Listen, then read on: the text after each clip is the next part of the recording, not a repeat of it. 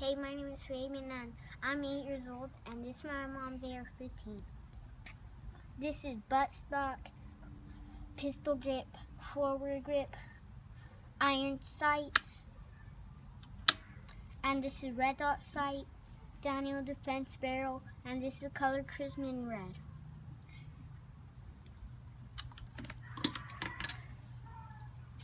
Never point guns ever at and make sure um check the gun if it's unloaded.